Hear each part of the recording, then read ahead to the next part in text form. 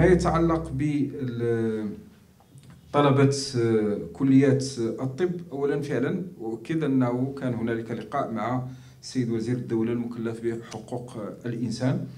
ليس هنالك أي قرار متخذ بعد ذلك اللقاء. ما أود التأكيد عليه؟ أن إرادة الحكومة في الحوار قائمة وأن هذه الإرادة محكومة بالحرص على مصلحة الطلبة ومصلحة الوطن واحترام أحكام الدستور المغربي. وأن البحث عن حلول في المستقبل هو هم للحكومة لأن يعني الأمر يتعلق بحوالي عشرين ألف طالب وطالبة. وكما لاحظتم طيلة الأسبوع الماضي كانت هنالك برامج آه، تلفزيونية وحوارات آه، إعلامية.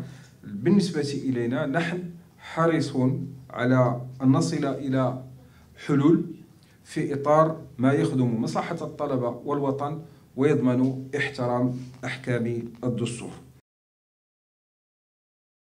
ما تنساش تابونا فلاشين وتأكد بالجرس باش يوصلك جديد الفيديوهات من هاد بريس.